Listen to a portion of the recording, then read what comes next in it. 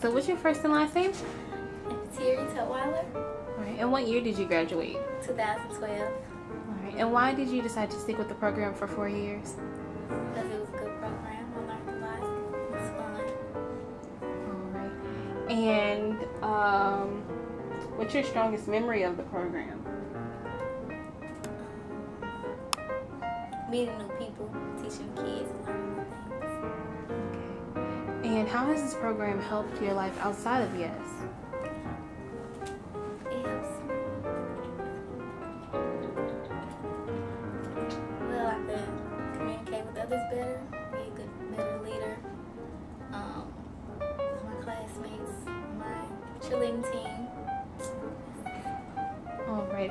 And what would you say to convince someone to join the program?